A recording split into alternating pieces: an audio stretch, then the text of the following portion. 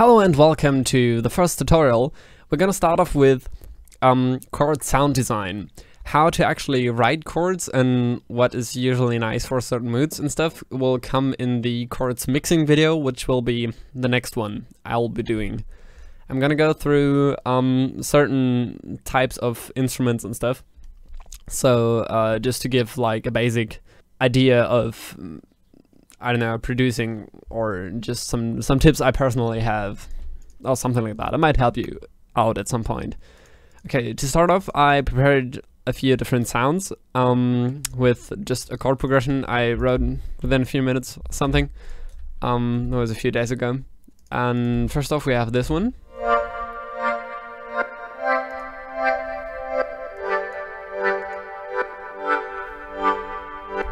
It's just a little like atmospheric uh, with a lot of reverb.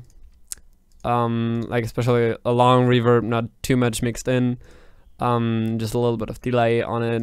And it's basically just an one LFO just modulating um, a supersaw with this um, oh yeah oh preset in, in Serum. Um, which sounds like vowel-like or voice-like. Um, if it's generated from that, I don't know, but um, it sort of gives gives it that glassy sort of feel to it. Then just a little bit of um, bit crushing through the downsample distortion in, in Serum. Also, that's my Serum skin, if if you didn't know. um, and then I added a phaser on that to to give it more of that glass feel and just a filter to cut off the high end. Pretty simple actually. Like without reverb and delay it would sound like that. Pretty dry, so you, you sort of need the reverb. Also, you should do a low cut. Because otherwise, through the distortion, you will have some, some low end mixed in there you don't want to have in there. I usually cut that around like 200 hertz or something. Then next thing is we have a little ARP. Um, I put that into chords as well. I could put it into like the plugs and leads tutorial I'll be doing. But I thought it would fit better in chords because it's basically playing the chords. So what I've done is just um, make a MIDI track and route it with that little ARP plugin into a Serum track, which just then plays basically the same sound but just with that pluck LFO. It's nothing much different, but can can sound really nice actually if you combine it in background with some other elements.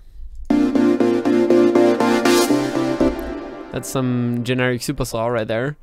Um, just a little bit of chorus, multi-band compression, and yeah, a not that much detuned supersaw and a more detuned with an octave up, which sounds quite nice. Then we just have this LFO sort of opening up the filter. And then just this volume automation. Which, I don't know, could be used for future bass or anything like that also with a shit ton of reverb on it. You can you can change that up if if you like it different. Then I just made that sound.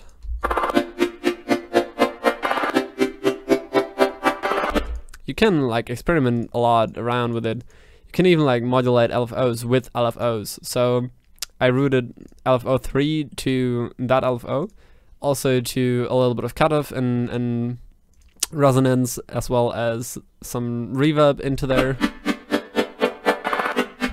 and also I think I yeah I also changed the sound of the sine wave uh, throughout one bar. I could even switch it the other way around.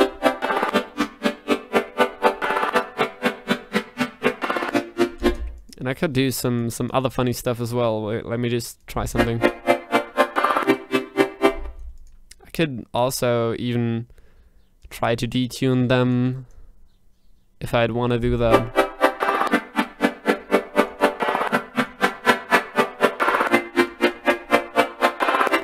We just... yeah, it gives a li nice little detune on it, maybe then just a little bit of hyper and dimension on it.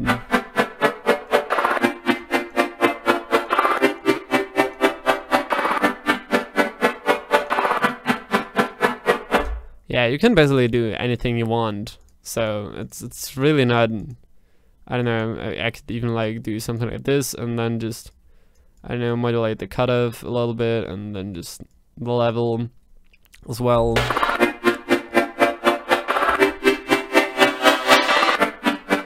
That's the match, I guess. Yeah, you can do like crazy stuff with it. And that's basically most of my sounds.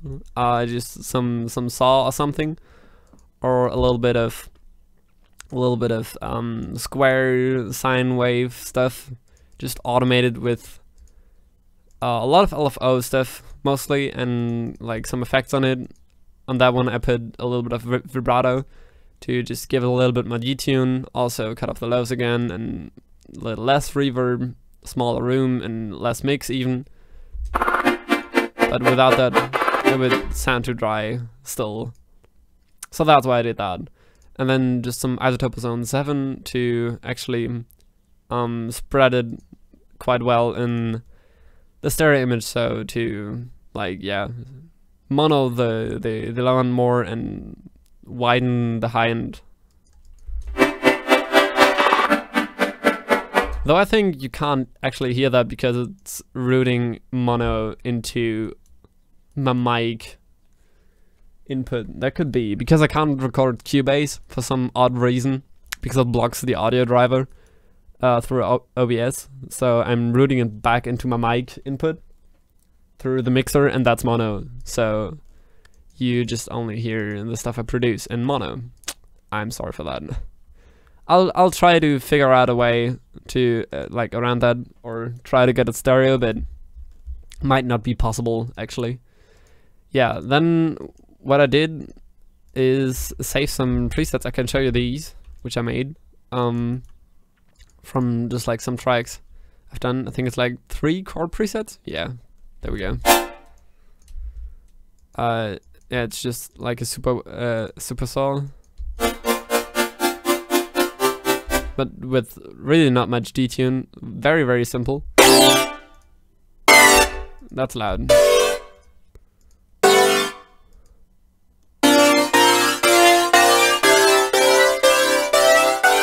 As I said, with like very simple um, wavetables, you can actually get some cool stuff out of out of there, like just some hyper dimension, um, some flanging, a little bit of compressing uh, for for loudness in, in, that case, then just a little bit of reverb and yeah, the vibrato and stuff on it. Uh, then we have one from from Saving Up, a track that can, that never got released, uh, same as Decentral actually. Oh, that's a little bit too low. Let me just... Some bit crushing on it, which I love to do on, on chords to make them sound more more electronic. Then again, some, some hyper for a little bit of stereo work, flanger and a filter. So I, I love to work with very basic stuff, which then which then sounds cool and um, it all pretty much depends on the chord progression as well. So uh, we're gonna cover that in, in the next video, but um, if your chord progression is different, then your chords will sound different. Um, that's more of a mixing issue and the sound can support that. Making good chords is like a good combination between sound design, mixing, and the right chord progression with like inversions and which tones to actually play. If I like take off these, it makes a difference if, if the bass note is in there or not. Of course it is. Or if I invert it, so like that note is always up. Or I could just like let the bass note play just the second note of each chord.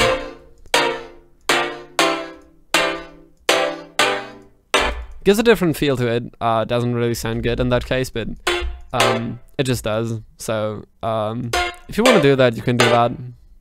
I'm just gonna try out using that note.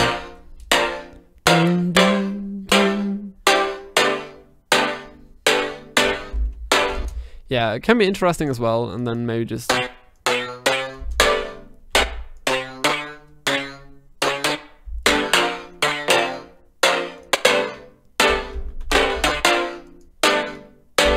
yeah, I can like try try around and, and try to get some stuff to work. Alright, so that was it for the sound design for chords. It's not too complex, for me at least, or as I do it, and I love to keep it simple at that point. And for me it's more about the chord progressions and the mixing behind it with, with other elements. So yeah, I hope you enjoyed that video. Uh, it's not too long, and the next one is gonna gonna come very soon, hopefully. And yeah, see you then. Bye.